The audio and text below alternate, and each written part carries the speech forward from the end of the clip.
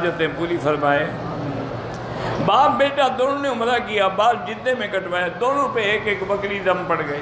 بال حدود حرم میں کٹوانے ہوتے۔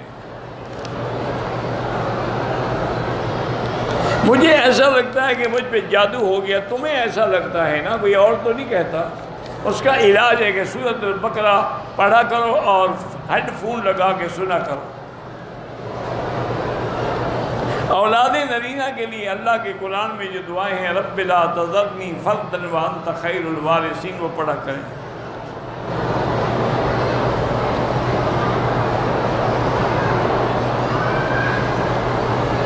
اب شوہر بیوی پہ شک کرتا ہے، بیوی جواب دیتی ہے بھر بیوی کو مطمئن تو کرنا چاہیے نا۔ جواب کیوں نہ دے، لیکن لڑائی تو نہ کرے نا۔ مطمئن کرے اس کو۔ اور خاون سے پوچھے کہ شک ثابت کرو تمہیں شک کس کس وجہ سے شک ہے؟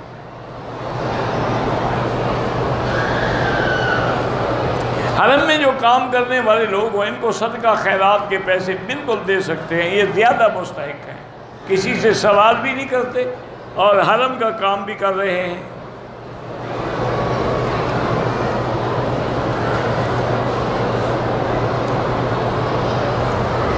کعبے میں کپڑا لگانا یا چمٹنا نجائز ہے۔ مسجد عائشہ سے کوئی اختلاف نہیں ہے۔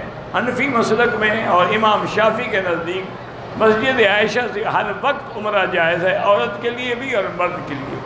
اور مسند احمد میں حدیث بھی موجود ہے کہ آپ کے بھائی نے بھی، عبداللہ ابن زبیر نے بھی احرام باندھا تھا۔